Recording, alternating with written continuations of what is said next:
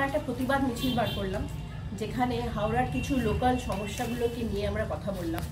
এবং সেই প্রতিবাদ মিছিলে আমরা কিছু কিছু ইস্যুস যেগুলো প্রায় গত চল্লিশ বছর ধরে পড়ে আছে, সেগুলোকে নিয়ে আমরা একটা মিছিল করে মানুষকে সেই সমস্যাগুলোয় কংগ্রেস তাদের পাশে আছে, সেই বার্তাটা আমরা আজকে দিলাম।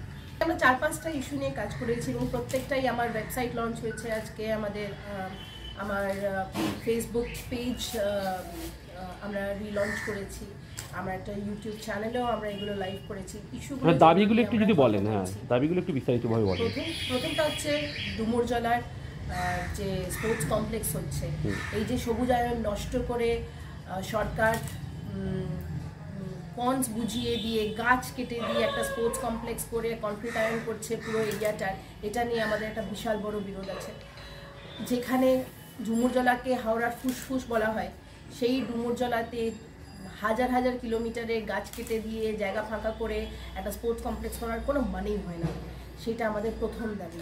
যেখানে সবুজায় নষ্ট করা যাবে না। ডুমুর জল এমন একটি জায়গা, আমরা প্রতিদিন সকালবেলা উঠে হাঁটতে যাই, ছেলেমেয়েরা এক্সারসাইজ করতে যায়।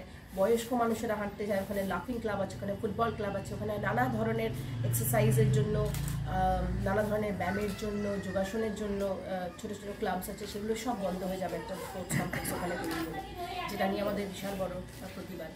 সেকেন্ডলি হচ্ছে চ্যাটার্জি হাটের, আপনারা দেখে থাকবেন, একটা ব্যাটের সামনে দিয়ে আপনারা আসলেন। এই ব্যাটটায় সকালবেলা আটটা থেকে বেলা দুটো, তিনটে, চারটে অবধি এবং সন্ধ্যেবেলা যখন আবার এখানে বাজার বসে, তিন, চারটে এরিয়ার থেকে ভীষণ রকমভাবে জঞ্জাল এখানে এসে জড়ো হয় এবং এই ব্যাগটায় কোনো দরজা নেই।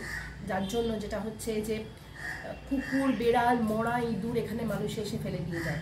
এখানে আশেপাশে উইদিন ফাইভ কিলোমিটার্স কোনো এরকম বড় ব্যাট নেই। ব্যাটের দরজাটা অনেক বছর হলো সরিয়ে দেওয়া হয়েছে। দু হাজার চোদ্দোতে একটা কেস করা হয়েছিল হাইকোর্টের কাছে। আর্টিকেল টু টোয়েন্টি সিক্সের আন্ডার পিটিশন করা হয়েছিল, যেখানে মহামান্য আদালত ভার্ডিক দিয়েছিল যে